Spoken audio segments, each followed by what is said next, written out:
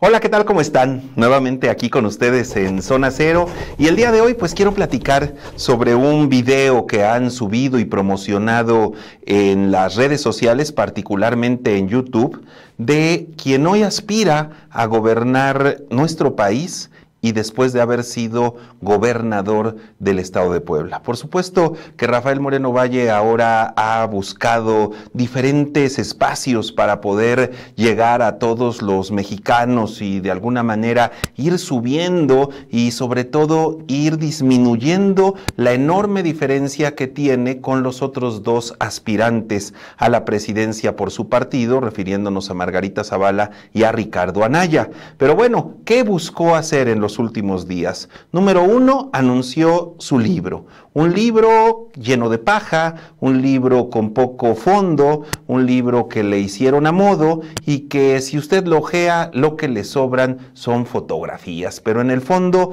una serie de mentiras, una serie de temas hablando de la transformación de un Estado que solamente él y unos cuantos vieron y que obviamente nos deja mucho que desear. No habla de la deuda pública, en fin. Pero recientemente, en esta semana que transcurrió, apareció este video que les comento en YouTube y en donde se hace referencia a la trayectoria de Rafael Moreno Valle y hablan desde la época de su niñez. Y hablan de que, por ejemplo, su gran, eh, la, la figura que marcó su vida y su gran inspiración de este hombre es nada más y nada menos que su abuelo, el doctor y general Rafael Moreno Valle, al que por cierto, bueno, pues lo homenajeó poniéndole el nombre, su nombre, al Hospital de Ortopedia, cuando había muchísimos otros médicos que lo merecían.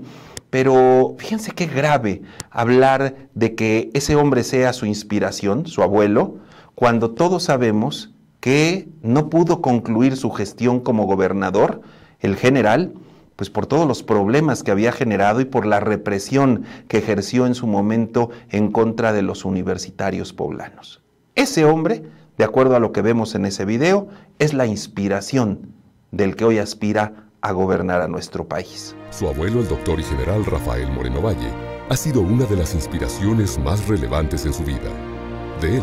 heredó la vocación de servicio público y la convicción de que con determinación el cambio es posible.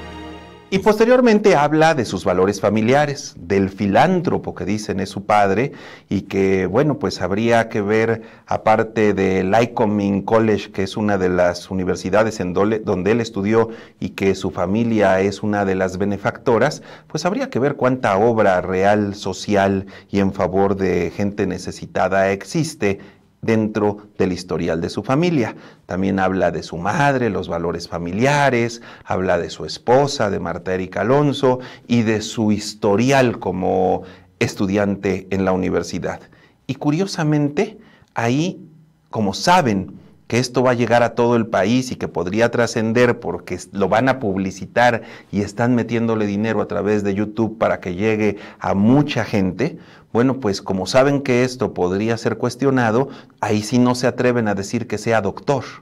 y únicamente hablan de los grados que realmente obtuvo y ahí sí ya no dicen que es egresado de Harvard, ahí dicen que es egresado de Harvard Extension, que no es lo mismo, no es lo mismo una filial que lo que representa por su trayectoria, por su fuerza, por su historial, la Universidad de Harvard. Pero bueno, ahí queda claro cómo es que Rafael Moreno Valle, bueno, pues lo que tanto presumió no lo era y lo que realmente es, hoy lo tiene que reconocer. Tres años después, obtiene el título de Juris Doctor por la Universidad de Boston, concluyendo su formación académica con un posgrado en Administración de Empresas en la Escuela de Extensión de la Universidad de Harvard. En este video de más de siete minutos, siete minutos con nueve segundos para ser exactos, habla de su trayectoria ya como banquero y dicen otra mentira. Dicen ahí que a los 27 años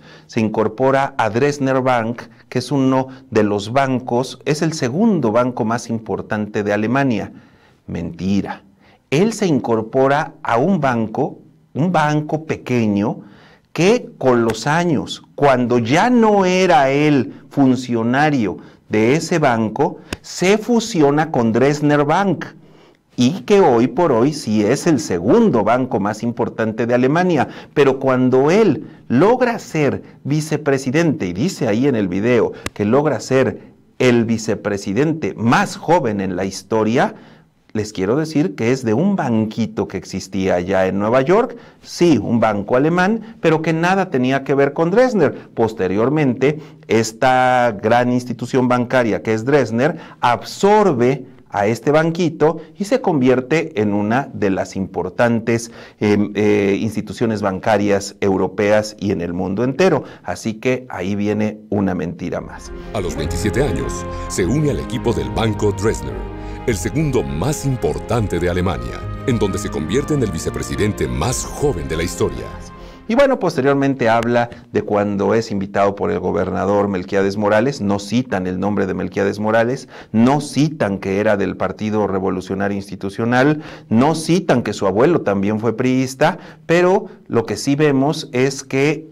ahí está un personaje todo, eh, todo amor con la gente, con los niños y cómo va creando su historia para buscar ser gobernador de Puebla. Y luego abordan cuando ya es gobernador y entre muchas otras cosas